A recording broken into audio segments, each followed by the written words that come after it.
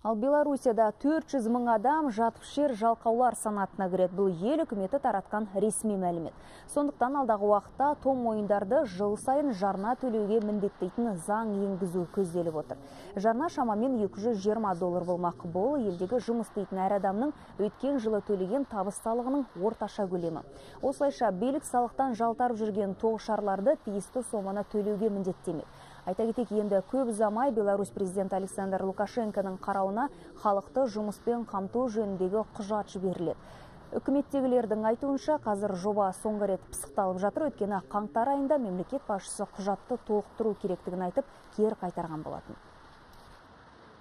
Для таких людей, безусловно, надо елдегі жатыпшерлер үшін тегін медициналық көмек көрсетуді алып тастау керек. Мәселен кімде кім жыл сайын салық төлемесе сол адамға әлеуметтік көмек көрсетілмеуі тиіс.